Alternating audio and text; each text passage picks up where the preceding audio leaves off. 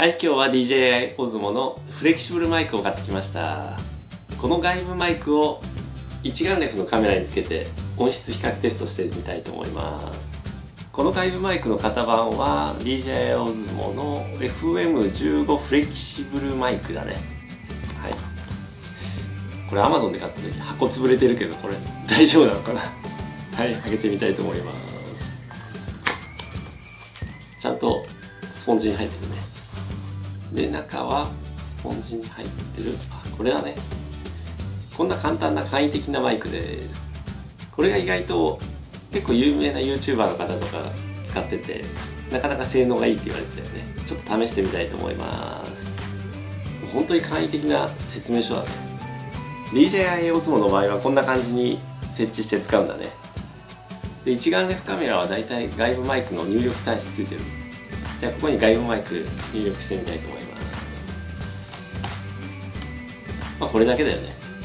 特にこのマイクは電池とかも必要ないからもう入力端子に挿すだけだね。はい。じゃあ早速外行って撮影していきます。はい。一眼レフカメラに DJI のフレキシブルマイクをつけて撮影してみたいと思います。ちょっと今日は風があるかな。はい。DJI のフレキシブルマイクつけて撮影してます。よし。お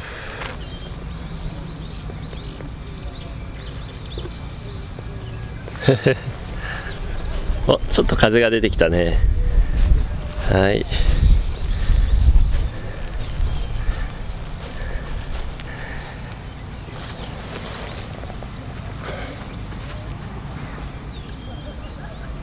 はい一眼レフの外部マイクなしで撮影してます。はいミルク。ちょっとだけ風が出てきたね。わあ危ない。激突。ミルク。はい帰ってきた。はい外部マイクをつけて撮影してます。ちょっと砂の上だねここはね。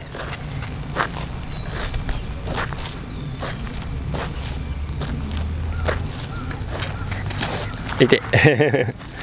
痛いね。はい外で撮影してきました。で帰ってきて音を比べてみるとなかなかこのフレキシブルマイクっていうのは風切り音とか低減されててよかったね。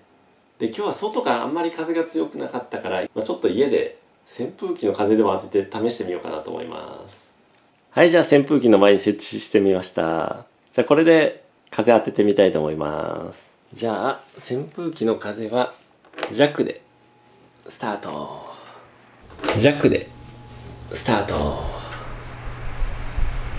はい DJI オズモのフレキシブルマイクに扇風機の風当ててます。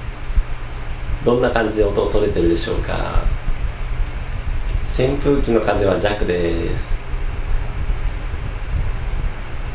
はいじゃあ外部マイクなしでカメラ本体のマイクで撮影してみます。じゃあ扇風機の風は弱です。はいカメラの本体のマイクで撮影してます。扇風機の風は弱です。はいどんな感じで音取れてるでしょうか。はいじゃあ次は扇風機の風を一番最大でやってみたいと思います。よしじゃあ今日でいきます。これはなかなか風強いね。はい DJ オズモのフレキシブルマイクに扇風機の風を当ててます。最大で風当ててます。どんな感じで音取れてるでしょうか。というかこのマイクが かなり風で揺れてるね。はい。はいじゃあ今度はカメラ本体のマイクで扇風機の風を最大にしてみます。オンはいカメラ本体のマイクで扇風機の風を最大に当ててますどんな感じで音取れるでしょうかはいじゃあ実験終わりです。で比べてみるとやっぱりフレキシブルマイクをつけて音を取ってみるとやっぱり風切り音とかかなり軽減されるね、まあ、1000円ぐらいのマイクだからその風切り音対策ぐらいにはちょうどいいのかなと思います。でさすがに扇風機強とか最大でやったら どっちも音は結構厳しいけど弱ぐらいだったらなかなか使えるんじゃないかなと思いました。でこの DJI のこのフレキシブルマイクはプラグインパワーになってるので特にバッテリーはいらないです。でこれ Amazon で買っても1000円ぐらいだからかなりコストパフォーマンスいいんじゃないかなと思います。はいこんな感じでこれからはじゃあ外で撮影する時はこの DJI のフレキシブルマイクを使ってみたいと思います。じゃあ今日はおしまいです。